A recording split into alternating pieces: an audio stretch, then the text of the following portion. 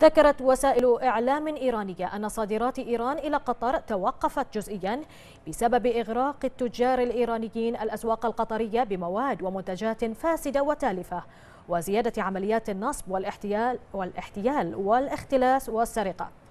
ونقلت وكالة الأنباء الإيرانية الرسمية عن مدير مطار شيراز أن التصدير توقف جزئيا لأن تغليف البضائع المشحونة إلى قطر كالفواكه والخضار كانت بطريقة غير مناسبة جدا.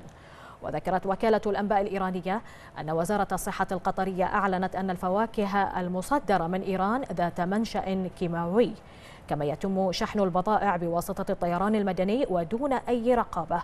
وبحسب وسائل إعلام إيرانية فقد بدأ الإيرانيون منذ استغلال الأسواق القطرية مع بداية إجراءات الدول الداعية لمكافحة الإرهاب ضدها بتصدير المنتجات الفاقدة لمعايير الجودة والبضائع ذات التغليف غير الصحي والمواد الغذائية التالفة والسامة مع عرقلة عمليات التصدير إلى قطر.